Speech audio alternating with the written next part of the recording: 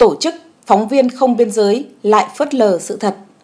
Xuyên tạc, suy diễn về tình hình tự do báo chí ở nước ta là một chiêu trò được một số tổ chức, đối tượng cực đoan, thiếu thiện trí với Việt Nam sử dụng. Một trong số đó là Tổ chức Phóng viên Không Biên giới RSF.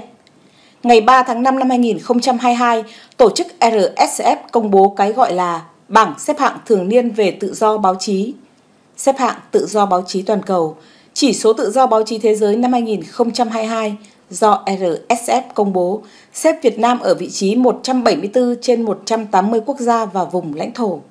Các chỉ số cụ thể của Việt Nam được nêu ra gồm chỉ số chính trị ở hạng 173, chỉ số kinh tế xếp hạng 176, chỉ số lập pháp xếp hạng 172, chỉ số xã hội và chỉ số an ninh xếp hạng 170. Trong bảng xếp hạng này, RSF đã vu cáo rằng các phóng viên và blogger độc lập thường bị bỏ tù.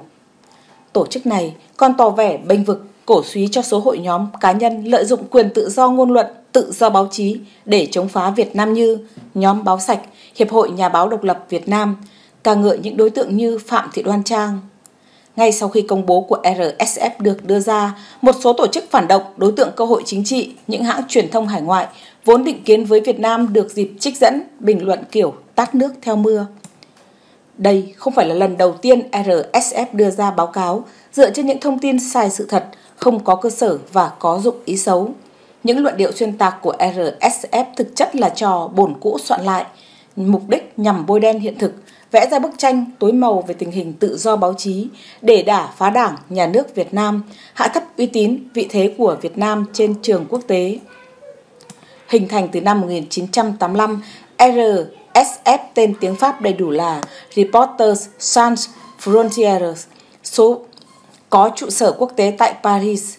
Đây là một tổ chức phi chính phủ hoạt động toàn cầu, lấy Điều 19 tuyên ngôn quốc tế về nhân quyền của Liên Hợp Quốc làm cơ sở để hành động. Tôn chỉ hoạt động của tổ chức này đưa ra để bảo vệ tự do báo chí trên thế giới, chống kiểm duyệt và tạo áp lực, giúp đỡ những nhà báo đang bị giam giữ. Hàng năm, vào ngày nhân quyền thế giới, tổ chức này thường đưa ra bảng xếp hạng về tự do báo chí của các quốc gia, vùng lãnh thổ bằng cách tổng hợp các câu trả lời và một bảng câu hỏi của RSF. Nhìn vào tôn chỉ hoạt động, cứ ngỡ RSF là một tổ chức chân chính hoạt động vì sự tiến bộ, thúc đẩy tự do và văn minh của thế giới. Nhưng trái ngược với chủ trương của Liên Hợp Quốc, nhiều năm nay tổ chức này thường xuyên có những luận điệu sai trái, xuyên tạc tình hình tự do báo chí, tự do ngôn luận của một số nước, trong đó có Việt Nam. Nhiều quốc gia trên thế giới cáo buộc RSF đứng đằng sau những vụ việc phức tạp, gây rối, bất ổn, kích động bạo lực. RSF tồn tại và hoạt động dựa vào phần nguồn vốn hỗ trợ kinh phí của một số chính giới phương Tây. Chính vì vậy, trong các bảng xếp hạng tự do báo chí hàng năm, RSF thường tuân theo sự sắp đặt một cách có chủ ý của các chính phủ quốc gia tài trợ cho tổ chức này hoạt động những yếu tố được tổ chức này sử dụng để đánh giá tự do của một nền báo chí thiếu tính bao trùm, không cân nhắc đến các yếu tố văn hóa, xã hội, nhận thức của từng quốc gia riêng biệt. Phần lớn những thông tin được đưa ra là không khách quan, không có hoạt động khảo sát, kiểm chứng thực chất, mà đó là những đánh giá thiếu căn cứ hoặc được suy diễn phóng đại. Việc RSF xếp loại tự do báo chí ở Việt Nam thường dựa vào những thông tin do số tổ chức cá nhân phản động thù địch, cơ hội chính trị, có các hoạt động vi phạm pháp luật Việt Nam cung cấp. Chính vì vậy, tổ chức này tìm cách bênh vực cho những đối tượng khoác áo, mượn danh nhà báo như nhóm Báo Sạch, Hiệp hội Nhà báo độc lập Việt Nam. Họ cố ý khoác áo nhà báo, ca ngợi, tán dương cho những kẻ hoạt động chống phá Việt Nam. Những thông tin mà bảng xếp hạng thường niên về tự do báo chí năm 2022 của RSF là không khách quan, sai thực tế về tình hình tự do báo chí ở Việt Nam – Việt Nam luôn là thành viên có trách nhiệm trong cộng đồng quốc tế. Chúng ta tuân thủ luật pháp quốc tế. Trong đó có điều 19 tuyên ngôn quốc tế về nhân quyền. Mọi người đều có quyền tự do ngôn luận và biểu đạt, bao gồm tự do giữ ý kiến mà không bị can thiệp, cũng như tự do tìm kiếm, thu nhận và truyền bá thông tin, tư tưởng bằng bất cứ phương tiện truyền thông nào và không giới hạn về biên giới. Chúng ta thấy rõ quyền con người, quyền công dân trên lĩnh vực đời sống xã hội trong đó có quyền tự do ngôn luận, tự do báo chí, luôn được nhà nước ta đảm bảo phù hợp với thực tiễn phát triển đất nước và không lệ thuộc quốc tế. Quyền tự do ngôn luận và quyền tiếp cận thông tin là những quyền cơ bản của con người, của mọi công dân. Hiến pháp năm 2013 quy định công dân có quyền tự do ngôn luận, tự do báo chí, tiếp cận thông tin, hội họp, lập hội, biểu tình. Việc thực hiện các quyền này do pháp luật quy định.